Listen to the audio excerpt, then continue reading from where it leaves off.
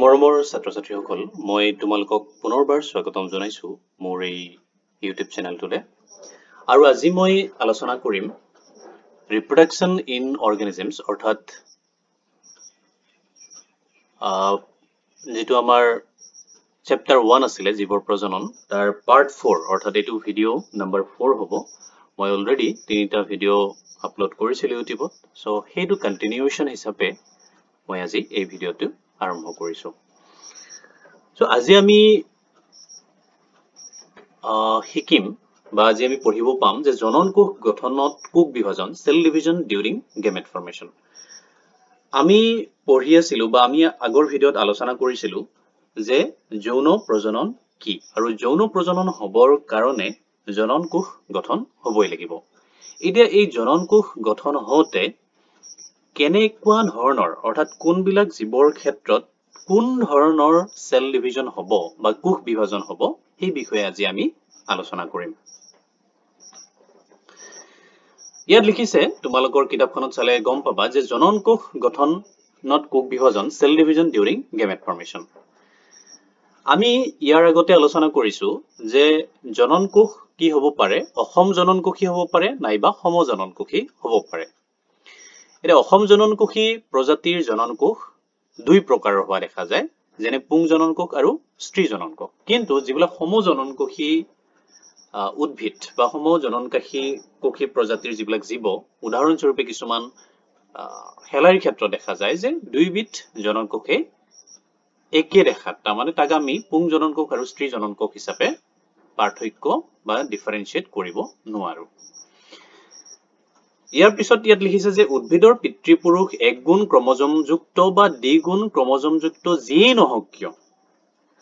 আৰু আমি আগৰ ভিডিঅ'ত অলৰেডি আলোচনা কৰিছো যে এক গুণ ক্ৰমজমযুক্ত জীৱ কোনবিলাক আৰু দ্বিগুণ ক্ৰমজমযুক্ত জীৱ কোনবিলাক। গতিকে পিতৃপুৰুষ যিয়েই নহওক কিয় সদায় জননকোষ কি হব? এক গুণ ক্ৰমজম বিশিষ্ট এই হব। অৰ্থাৎ জননকোষ সদায় এক গুণ ক্ৰমজম বিশিষ্টই হব লাগিব। অৰ্থাৎ হেপ্লইডে হব লাগিব। এতিয়া একগুণ বিশিষ্ট পিতৃয়ে দৈহিক বিভাজনৰ দ্বাৰা জননকোষ সৃষ্টি কৰে। আৰু ইয়াত এটা প্ৰশ্ন সুধিছে যে ইয়াৰ অৰ্থ এয়ে নেকি যে একগুণ ক্ৰমজম বিশিষ্ট জীৱ ৰাসাত্মক জীৱবোৰৰ মাজত ৰাসাত্মক বিভাজন বা মিয়চিছ দেখা নাযায়। আৰু এটা কথা লিখিছে যে একাদশ শ্ৰেণীৰ কিতাপৰ তৃতীয় পাঠত দিয়া শেলাইৰ জীৱন চক্ৰৰ তালিকাত ভালদৰে লক্ষ্য কৰিলে। ইয়াৰ উদাহৰণ আমি পাম। গতিকে তোমালোকে চাই ল'বা সেইখিনি মই আৰু ইয়াতে আলোচনা নকৰোঁ যে যিখন তোমাৰ ক্লাছ ইলেভেনৰ কিতাপ আছে তাত গৈ তোমালোকে চাব পাৰিবা যে যিবিলাক একগুণ ক্ৰমজম বিশিষ্ট জীৱ বা উদ্ভিদ সেইবিলাকৰ ক্ষেত্ৰত ৰাসাত্মক বিভাজন হয় নে নহয়? কথাখিনি বুজি পাইছা নে নাই? তথাপি মই অলপ ৰিপিট কৰি দিছো যে যিবিলাক জীৱৰ দেহ দ্বিগুণ ক্ৰমজমযুক্ত হয় অৰ্থাৎ ডিপ্লয়ড হয়। তাত ৰাসাত্মক বিভাজনৰ দ্বাৰা এক গুণ ক্ৰমজম বিশিষ্ট জননকোষৰ সৃষ্টি হয়। কিন্তু যিবিলাক এক গুণ ক্ৰমজম বিশিষ্ট জীৱ থাকে অৰ্থাৎ যাৰ দেহ এক গুণ ক্ৰমজম বিশিষ্ট কোষৰ দ্বাৰা গঠিত সেই জীৱবিলাকৰ ক্ষেত্ৰত কিন্তু কিন্তু যিটো আমাৰ গেমেট ফৰ্মেশ্যন হ'ব যিটো আমাৰ জননকোষ সৃষ্টি হ'ব সেইটো সৃষ্টি হ'বৰ কাৰণে কি ধৰণৰ বিভাজন হ'ব? মাইটচিছ বা দৈহিক বিভাজন হ'ব। গতিকে এই ক্ষেত্ৰত এটা প্ৰশ্ন আমাৰ মনলৈ আহিব পাৰে যে যিবিলাক একগুণ ক্ৰমজম বিশিষ্ট জীৱ সিহঁতৰ ক্ষেত্ৰত ৰাসাত্মক বিভাজন বা মিয়চিছ হোৱা দেখা নাযায় নেকি? মই উত্তৰটো দিছো দেখা নিশ্চয় যায়। আৰু ডিটেইলছ তোমালোকে ক্লাছ ইলেভেনৰ কিতাপখনত চালে পাবা। তাৰপিছত আহিলে যে মনেৰা ভেকুৰ শেলাই আৰু মজবৰ্গৰ বেছিভাগ জীৱৰে দেহ একগুণ ক্ৰমজম বিশিষ্ট। কিন্তু মানুহকে সামৰি বেছিভাগ প্ৰাণী ঢেকীয়া বৰ্গৰ টেৰিডফাইট নগ্নবীজী জিমনস্পাৰ্মছ গুপ্তবীজী এনজিঅস্পাৰ্মৰ জীৱৰ পিতৃপুৰুষৰ দেহ কিন্তু দ্বিগুণ ক্ৰমজমযুক্ত। এই বিষয়ে মই অলৰেডি আলোচনা কৰিছো আগৰ ভিডিঅ'ত। তোমালোকে চালে গম পাবা। তথাপি মই কৈ দিছো যে একগুণ ক্ৰমজম বিশিষ্ট জীৱ কোনবিলাক আৰু দ্বিগুণ ক্ৰমজম বিশিষ্ট কোনবিলাক। উদাহৰণস্বৰূপে আমি যদি মানুহৰ কথা চাওঁ ইয়াত দিয়া আছে এই চাৰ্টখনত তোমালোকে এইফালে চালে দেখিবা যে মানুহৰ যিবিলাক আমাৰ দেহ কোষ থাকে সেই দেহ কোষত ক্ৰমজমৰ সংখ্যা হৈছে forty six number forty six ডাল। আৰু জনন কোষত কিমান ক্ৰমজম থাকে?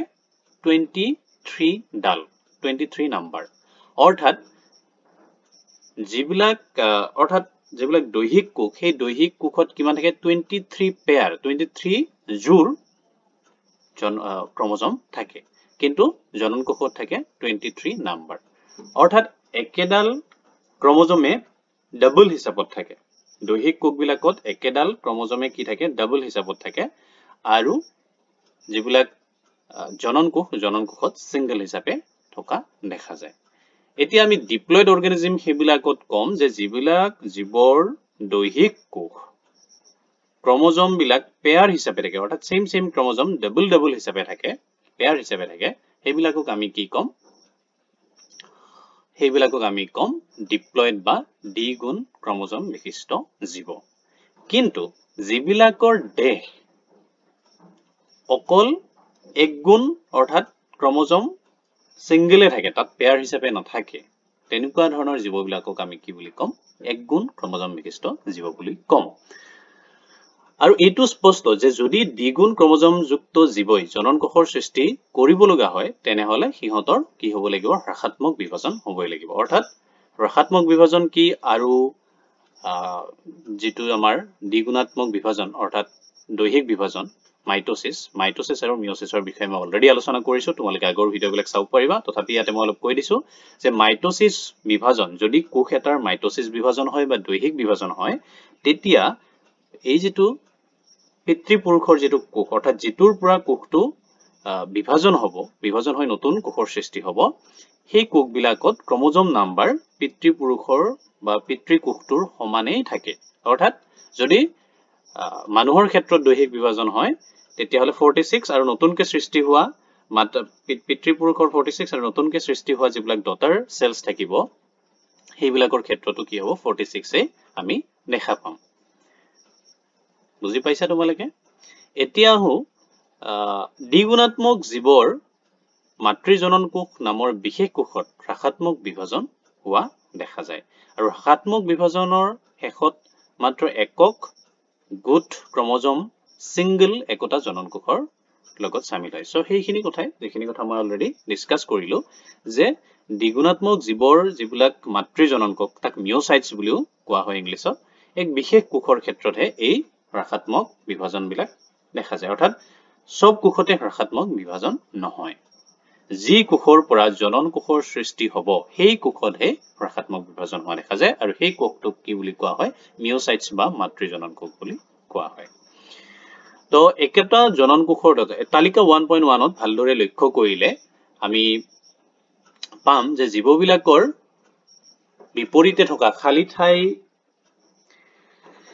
আৱশ্যকীয় ক্ৰমজম সংখ্যাৰে পূৰোৱা তোমালোকে এইখিনি পূৰ কৰি ল'বা। মাতৃজনন কোষ আৰু জনন কোষত হোৱা ক্ৰমজম সংখ্যাৰ ক্ষেত্ৰত কিবা সম্পৰ্ক আছেনে?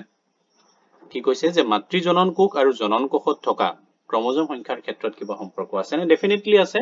যে মাতৃকোষ মাতৃজনন কোষত যদি ফৰ্টি ছিক্স ডাল থাকে তেতিয়াহ'লে আমাৰ জনন কোষত কিমান আছে? টুৱেণ্টি থ্ৰী তো ইয়াত মাখীৰ ক্ষেত্ৰত কিমান আছে? টুৱেলভ তো ইয়াত হ'ব কিমান? ছিক্স কিছুমান জীৱৰ মাতৃজনন কোষ দ্বিগুণ টুৱাইচ এন আৰু জনন কোষ এক গুণ ক্ৰমজমৰ সংখ্যা খালী ঠাইসমূহ পূৰণ কৰা। তাৰমানে দ্বিগুণ আৰু এক গুণ। এইবিলাক ইয়াত যিমানবিলাক জীৱৰ আমি ইয়াত নাম দিয়া আছে এই গোটেইবিলাক জীৱই হৈছে কি? দ্বিগুণ ক্ৰমজম বিশিষ্ট জীৱ। তাৰপিছত আহিলে যে জনন কোষ সৃষ্টি হলেই নহব জনন কোষৰ কি হ'ব লাগিব? আমাৰ স্থানান্তৰ হ'ব লাগিব। কাৰণ স্থানান্তৰ হৈ সেই জনন কোষবিলাকৰ কি হ'ব লাগিব? মিলন হ'ব লাগিব। আৰু মিলন আমাৰ মেইন উদ্দেশ্যটো হৈছে মিলন হৈ কেনে কি সৃষ্টি হ'ব লাগিব? যোজন কোষৰ সৃষ্টি হ'ব লাগিব। আৰু সেই যোজন কোষটোৱেই এটা সময়ত কি সৃষ্টি হ'ব? ভূৰণলৈ বিকাশ হ'ব। গতিকে প্ৰথম আমাৰ চাব লাগিব যে জনন কোষৰ স্থানান্তৰ কেনেদৰে হোৱা দেখা যায়। চ' পুংজনন কোষ আৰু স্ত্ৰীজনন কোষ গঠিত হোৱাৰ পাছত সিহঁতৰ মাজত মিলন ঘটাবলৈ বা নিষেচন ঘটাবলৈ শাৰীৰিকভাৱে সিহঁতক লগ লগোৱাটো অতি জৰুৰী। ডেফিনেটলি সিহঁত কাষত আহিব লাগিব আহি লগ লাগিব লাগিব। আৰু ইয়াত এটা প্ৰশ্ন সুধিছে যে তুমি ভাবি আচৰিত নহবানে কেনেদৰে বাৰু জনন কোষবোৰ লগ লাগে? সেইটো নিশ্চয় জানিব মন যায় ন? যে সিহঁতৰ হাত ভৰি আছে নেকি? সিহঁতে কেনেকে যায়? কেনেকে খোজকাঢ়ি যায় নেকি? চ' ডেফিনেটলি সিহঁতে কিবা এটা মাধ্যমৰ সহায়েৰে যাব লাগিব। আৰু বেছিভাগ জীৱৰে পুং জনন কোষবোৰ কেশৰযুক্ত মতাইল আৰু স্ত্ৰী জনন কোষবোৰ অলৰচৰ বা স্থিৰ ষ্টেচনাৰী হোৱা দেখা যায়। আৰু লগতে যিবিলাক পুং জনন কোষ সেই পুং জনন কোষবিলাক কি হয়? সৰু হয় আৰু যিবিলাক স্ত্ৰী জনন কোষ সেইবিলাক ডাঙৰ হয়। চ' ইয়াত উল্লেখ কৰিছে কিন্তু কিছুমানৰ ক্ষেত্ৰত একমাত্ৰ কিছুমান ভেঁকুৰ আৰু শেলাইৰ ক্ষেত্ৰতহে দুয়ো প্ৰকাৰৰ জনন কোষ কেশৰযুক্ত হোৱা দেখা যায়। যাক আমি আইচ গেমেটছ বুলিও আমি কওঁ। আৰু ইয়াত দিয়া আছে চিত্ৰ ওৱান পইণ্ট ছেভেন এ চ' চিত্ৰ ওৱান পইণ্ট ছেভেন এ চৰি মই আকৌ বেক কৰিছোঁ।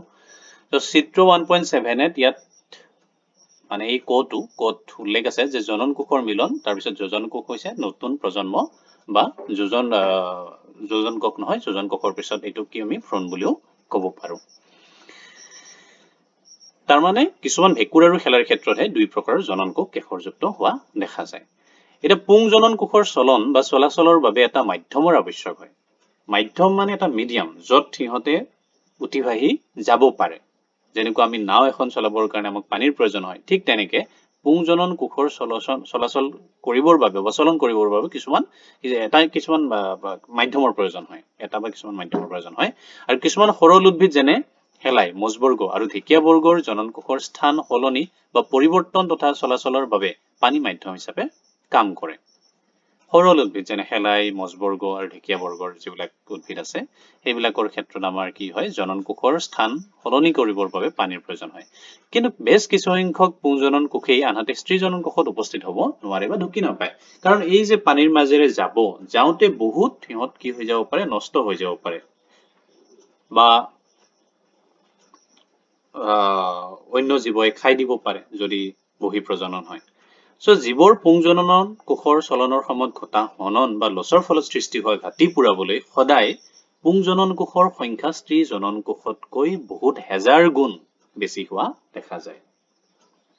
এতিয়া মানুহৰ ক্ষেত্ৰতে আমি উদাহৰণ হিচাপে ল'ব পাৰো যে মানুহৰ স্ত্ৰীৰ ক্ষেত্ৰত স্ত্ৰীৰ ক্ষেত্ৰত এক বা ডিম্বাণু বা অভাম সেইটো অকল এটাৰ সৃষ্টি হয়।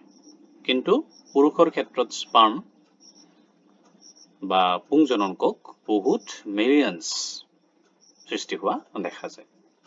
এতিয়া বীজধাৰী উদ্ভিদত পুংজনন কোষৰ বাহক হ'ল পৰাগৰেণু পলেনগ্ৰীণ আৰু ডিম্বকত ডিম্বাণু থাকে। তো এই বিষয়ে আমি সপুষ্পক উদ্ভিদৰ যৌন প্ৰজনন বুলি এটা চেপ্টাৰ আছে। ইয়াৰ পিছত সেইটো যেতিয়া আমি পঢ়িম তেতিয়া আমি ভালদৰে ভালদৰে আলোচনা কৰিম এই বিষয়ে। তো এতিয়া তোমালোকে বুজি থোৱা যে বীজধাৰী উদ্ভিদৰ পুংজনন কোষৰ বাহক হ'ল পৰাগৰেণু। পৰাগৰেণু কোনবিলাক? এতিয়া ফুলবিলাক আমি ফুল যদি আমি লক্ষ্য কৰোঁ আমি চালে দেখিম যে কিছুমান হালধীয়া হালধীয়া বস্তু আমাৰ হাতত লাগি ধৰে। বেছিভাগ ফুল হালধীয়া চবৰ ক্ষেত্ৰত হালধীয়া নহ'বও পাৰে কিন্তু বেছিভাগ ক্ষেত্ৰতে আমি হালধীয়া হালধীয়া কিছুমান এনেকে ফুল চুই দিলে আমাৰ হাতত লাগি ধৰে আৰু সেইবিলাকেই হৈছে পৰাগৰেণু বা পলেন গ্ৰেণ আৰু এই পৰাগৰেণু ভিতৰতে সোমাই থাকে আমাৰ যিটো পুংজনন কোষ। ঠিক তেনেকে যিটো আমাৰ অভেৰি ফুলটোৰ শেষৰ ফালে আমি লক্ষ্য কৰিলে আমি চাম দেখি দেখিম যে অলপমান কি হয় ফুলা নিচিনা এটা অংশ থাকে আৰু সেইটোকে আমি কি বুলি কওঁ গৰ্ভাশয় বুলি কওঁ। আৰু সেই গৰ্ভাশয়ৰ ভিতৰতে কি সোমাই থাকে ডিম্বক সোমাই থাকে আৰু ডিম্বকৰ ভিতৰত সোমাই থাকে ডিম্বাণু। যাক আমি ডিম্বকক অভিউল বুলিও কোৱা হয় আৰু ডিম্বাণুক এক বুলিও কোৱা হয় ইংলিছত। এতিয়া পৰাগৰেণু পৰাগধানীত উৎপন্ন হয় সেয়েহে নিকেচন ঘটাৰ আগতে ই গৰ্ভমণ্ডলৈ স্থানান্তৰিত হোৱা দেখা যায়। তো ইয়াত চিত্ৰ ওৱান পইণ্ট ছেভেন বি ইয়াত উল্লেখ কৰিছে উল্লেখ কৰা হৈছে যে খ এপাহ ফুলৰ গৰ্ভমুণ্ডত অংকুৰিত পৰাগৰেণু চ' গৰ্ভমুণ্ডত অংকুৰিত পৰাগৰেণু তাৰমানে এই যিটো পৰাগৰেণু এই হালধীয়া হালধীয়া যিবিলাক বস্তু সেইবিলাক বিভিন্ন মাধ্যমৰ মাজেৰে যেনেধৰণে কিছুমান পখিলাৰ গাত লাগি যাব পাৰে বা বতাহৰ মাধ্যমত যাব পাৰে বা পানীত উপঙিও যাব পাৰে। গৈ ইহঁতে কি কৰে ফুলৰ গৰ্ভমণ্ডলৈ কি হয় স্থানান্তৰিত হয় আৰু স্থানান্তৰিত হোৱাৰ পিছত কি হ'ব তাতে নিষেচন হ'ব। এতিয়া উভয়লিংগী স্বনিষিচত উদ্ভিদ যেনে মটৰমাহ আৰু পুংধানী আৰু গৰ্ভমুণ্ড ওচৰা ওচৰাকৈ থকাৰ বাবে পৰাগৰেণু অতি সহজে গৰ্ভমুণ্ডলৈ স্থানান্তৰিত হ'ব পাৰে।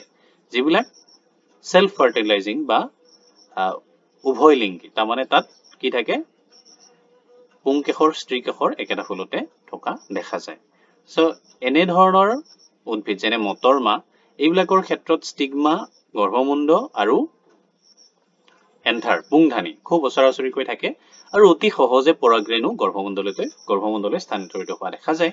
চ' এনে ক্ষেত্ৰত যিটো আমাৰ নিষেচন অতি সহজে হোৱা দেখা যায়। অৰ্থাৎ পৰাগধানীৰ পৰা পৰাগৰেণু ওলাই অহাৰ পিছতেই গৰ্ভমুণ্ডৰ সংস্পৰ্শলৈ আহে আৰু লগতে কি হোৱা দেখা যায়? নিষেচন হোৱা দেখে কিন্তু যিবিলাক ইতৰ পৰাগযোগী ক্ৰছ পলিনেটিং উদ্ভিদত ভিন্নবাসী উদ্ভিদক সামৰি যদি আমি চাওঁ পৰাগধানীৰ পৰাগৰেণু স্ত্ৰীস্তৱকৰ গৰ্ভমুণ্ডলৈ অনাত এটা বিশেষ প্ৰক্ৰিয়া সহায় কৰে যাক পৰাগযোগ বা পলিনেশ্যন বুলি কোৱা হয়।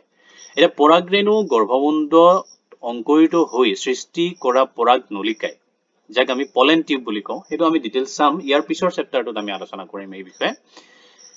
যে পুংজননকক ডিম্বকলৈ কঢ়িয়াই আনি ডিম্বাণুৰ ওচৰত এৰি দিয়ে আৰু ভিন্নবাসী প্ৰাণীসমূহত যিহেতু পুংজননকোষ আৰু স্ত্ৰী জননকোষ বেলেগ বেলেগ দেহত সৃষ্টি হয় সেয়েহে এই প্ৰাণীসমূহে জননকোষৰ স্থান পৰিৱৰ্তনৰ বাবে এক বিশেষ কৌশল অৱলম্বন কৰিব লগা হয় আৰু উপযোগী হোৱাকৈ জননকোষৰ স্থানান্তৰ আৰু সিহঁতৰ মাজত মিলন ঘটা ফিউজন প্ৰক্ৰিয়াটো হৈছে যৌন প্ৰজননৰ এটা অতি গুৰুত্বপূৰ্ণ কাৰ্য যাক নিষেচন বা ফাৰ্টিলাইজেশ্যন বুলি কোৱা হয়। চ' তোমালোকে মনত ৰাখিবা যে যিবিলাক উভয়লিংগী উদ্ভিদ আছে বা যিবিলাক স্বনিষেচিত যিবিলাক উদ্ভিদ আছে তাৰমানে চেল্ফ পলিনেটিং যিবিলাক ফ্লাৱাৰ আছে সিহঁতৰ ক্ষেত্ৰত প্ৰব্লেম নাই। যিহেতু গৰ্ভমুণ্ড আৰু পৰাগধানী ওচৰা ওচৰিকৈ থাকে ত খুব সোনকালে সিহঁতৰ মাজত কি হ'ব পাৰে?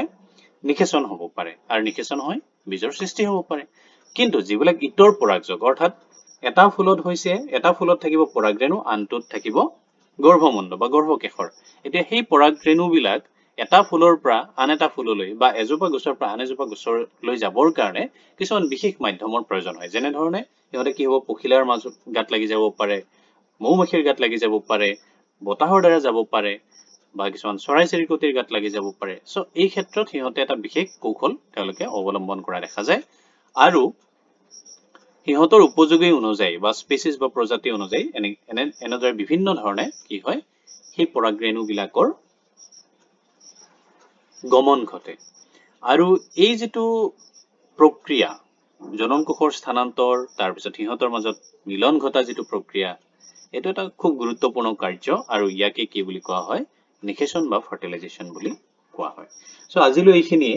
ইয়াৰ পিছত আমি চাম নিষেচন বা ফাৰ্টিলাইজেশ্যন কি।